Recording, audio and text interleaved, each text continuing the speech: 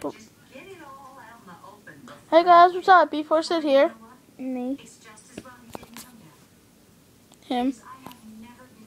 Anyway, so um, I'm gonna do a what not to shoot video.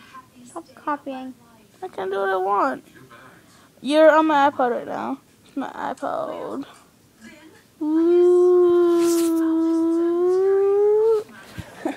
anyway, I want to see if this is a better angle than my other the other video I made. So I'm gonna do what not to shoot a couple a little bit because I'm going outside. Beautiful day outside. It's It like says 70. It says 80 on that one. Yeah, it's good direction in the sun though. Oh my God, it's warm out here. Oh, it's 80 outside.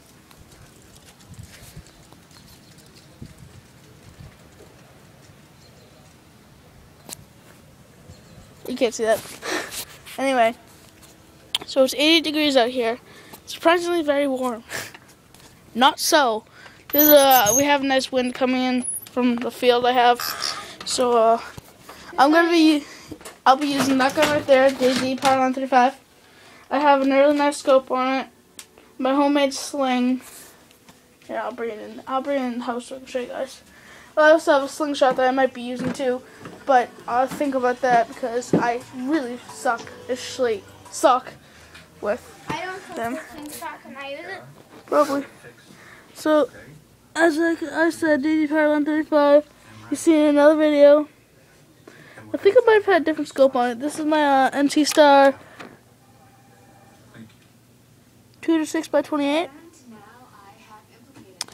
DD Power 135. I put new scope mounts on it. Well, lever mounts and stuff like that. Pick me and weaver. weaver! So, uh, yeah, guys. I don't know what I'll be shooting yet, but Can I be cameraman though? yeah.